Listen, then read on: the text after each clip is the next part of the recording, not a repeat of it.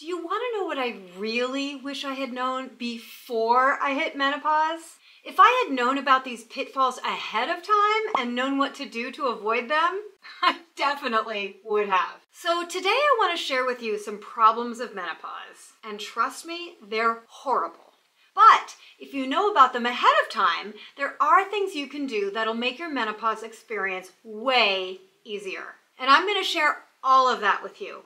Trust me, I learned the hard way after some truly awful experiences. I really wish someone had told me about this. And I want to save you from having those awful, embarrassing experiences. And actually, your perimenopause experience too. So stay tuned because these tips can make a big difference to your menopause experience. If you're new here, hello and welcome. I'm Rena Hedeman, professional certified coach and founder of Thrive After 45. It's so great to have you here. Whether you're new or not, please come say hi in the comments and let me know what you've been going through lately, good or bad. I love reading all your comments. They mean so much to me, and I try to respond to as many as I can. Okay, let's get into it. I'm going to tell you the five things I really wish I had known before I hit menopause. But just quickly, I want to make sure everyone's clear on the difference between perimenopause and menopause, because this is related to my first important tip for you. Perimenopause is when your female reproductive hormones start to decline until eventually you don't get a period anymore, and your child-rearing years are officially over. That happens over time, anywhere from just a few years to 14 or even 15 years. And it can start in your 30s and in some cases even your 20s. But for most women, perimenopause starts in their 40s. So as I said, I'm Rena, I'm almost 60 years old, and after 14 years in perimenopause, I officially hit menopause just five months ago. You might not know this, but menopause isn't official until you've gone 12 consecutive months without a period. So technically, you're only in menopause for one day on day 365 without a period. And then after that, you're considered postmenopause. Okay, so 14 years in perimenopause? Yeah, that's a pretty long time. And honestly, I had almost every symptom that's possible in perimenopause. For some of us, perimenopause is way more than just hot flashes, too. You see, in those years leading up to menopause, your hormones don't just go down in a smooth straight line. No, they go up and down like crazy, which creates total mayhem in your body and brain, which can really affect you both physically and psychologically.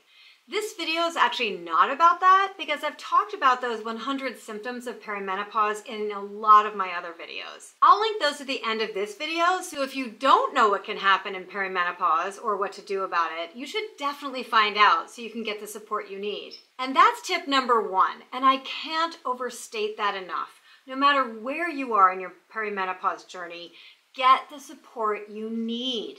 If your doctor can't or won't help you in this area or doesn't seem to know enough or just kind of blows it off as something you just have to deal with, find someone else, preferably a healthcare practitioner who's been trained in women's hormonal health and really gets it and knows how to give you the help and solutions you need. So that's number one, get the proper support you need, preferably before you need it. The second thing I wish I had known a long time ago, especially if you're experiencing a lot of perimenopause symptoms right now, is that it does get better. I mean, yeah, there are definitely some embarrassing and problematic issues you have to deal with after you hit menopause. And that's what I'm here to warn you about and give you tips on how to decrease them or maybe even avoid them altogether. But post-menopause, there aren't nearly as many issues. For most of us, those horrifying symptoms of perimenopause like hot flashes, night sweats, depression, fatigue, and the 99 others, for the most part, they go away, or at least they decrease naturally. At least they did for me. And on top of that, another great thing about this phase of life, I don't know, I feel like you just kind of hit your stride, you know? For those of you post-menopause, do you agree? I mean, there is such a knowing that comes at this stage of our lives, you know? And it's so freeing.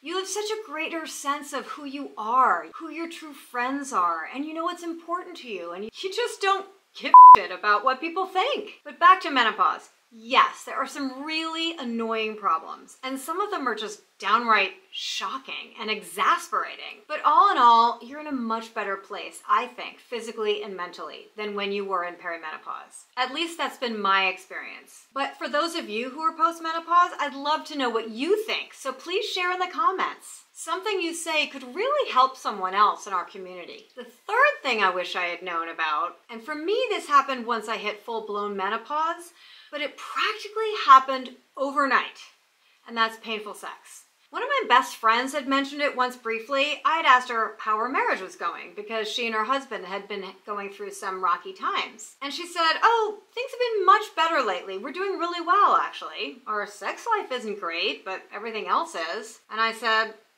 Oh, why not? And she just said, Because it hurts. And I remember thinking, Oh God, I'm glad I don't have that problem. Well, a few years later, I suddenly thought, OMG, that's what she was talking about. So I'm giving you a heads up about that now so you know to keep lubrication on standby because at some point you're gonna need it, trust me. When you hear the phrase dry vagina, that's a polite way of saying sex can be really painful, so definitely use lubrication. Oh, and there are also moisturizing vaginal suppositories you can buy without a doctor's prescription.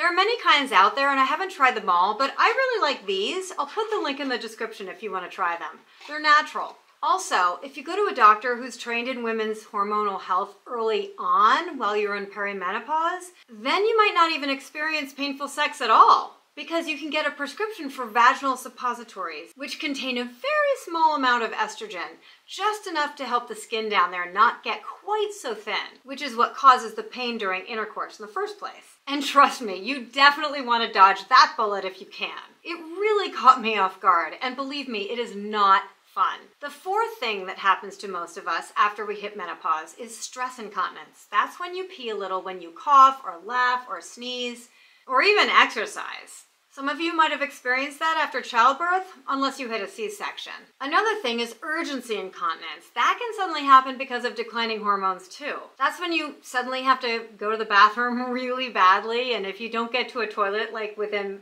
30 or 60 seconds, you just can't really hold it anymore. So you leak, or worse, you wet your pants. Ladies, this happened to me on vacation in Paris, and it was the absolute worst. I told the whole story in this video if you want to hear what happened.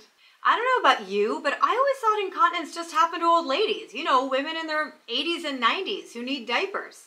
Well, I hate to break it to you, but no, it happens to a lot of women in their 40s and 50s. Your friends are probably just too embarrassed to admit it. I swear, I wouldn't wish it on my worst enemy. But if you know about it ahead of time, and I have no idea why doctors don't tell us this, there are things you can and should do before that happens so you can avoid it. First off, Kegel exercises. If you don't know what those are, they're basically exercises to strengthen your muscles down there, aka pelvic floor muscles, so you don't leak. I actually went to physical therapy for my pelvic floor, and honestly, if I had known how important strengthening your pelvic floor is, I would have gone a long time ago because lowered hormone levels naturally make those muscles weaker. Now, if you can't get to a physical therapist for pelvic floor strength, Google pelvic floor exercises for incontinence and be disciplined about doing them. I promise you'll thank me later. Another thing you can do that really helps ward off both stress incontinence and urgency incontinence is the vaginal estrogen I mentioned earlier. It's really just a very tiny amount you insert into your vagina twice a week. I do that in addition to Kegels, and it's made a big difference. No more leaking, no more urgency, no more horror stories on vacation. Okay, the fifth thing that happens postmenopause is more frequent urinary tract infections, UTIs. UTIs typically occur when bacteria enters the urinary tract through the urethra and begins to spread in the bladder. Bacteria may take hold and grow into a full-blown infection in the urinary tract. After menopause, a decline in circulating estrogen causes changes in the urinary tract, and those changes can increase the risk of UTIs. And you know, if left untreated, a UTI can cause permanent kidney damage and even sepsis, which can be fatal. So instead of waiting until you start having UTIs, start doing these five things now to decrease your odds of getting UTIs in the first place. One, drink plenty of fluids, especially water. So that means you're gonna pee more often, but that's a good thing because that allows bacteria to be flushed from the urinary tract before an infection can even begin. Another thing, always wipe from front to back. That helps prevent the spread of bacteria from the anus to the vagina and urethra. Another tip, empty your bladder soon after having sex. Also, drink a full glass of water to help flush out that bacteria. Also, try taking cranberry supplements. Although the research on this isn't actually totally conclusive, cranberries can apparently make urine less attractive to bacteria. It can't hurt to try. And finally, don't use potentially irritating feminine products, such as deodorant sprays, douches, and powders, because using them in the genital area can really irritate their urethra. Okay, I could go on and on and on, but I don't want to overwhelm you with too much detailed information. It's a lot to take in. But just know that I'm here for you. I'm here to take a stand for all women in midlife and beyond. Because I think, okay, not to sound whiny or like a complainer or anything, but I do think that women our age often get overlooked by the medical world, by the magazines, by the business world, by advertisers who always focus on that coveted 18 to 24 year old age bracket. Which is kind of weird, right? Because we typically have more spending power than they do. I do think the world is starting to wake up to the power and the wisdom and the value of women at midlife and older. So, part of my mission is to celebrate our collective age group, our phase of life. When we come together as a community, we really help each other become stronger. We help each other look better and feel better. We share ideas, encourage each other, and help each other grow. And that's really why I created Thrive After 45. That's what it's all about. So I hope you'll dive into this channel and check out some of the other videos. I'm really trying to make this channel a super helpful resource for women at this stage of life. I hope you'll get active in the comments because that's really where the magic happens. And let me know what topics you'd like me to cover in future videos. I'm here to help you, so talk to me, girl.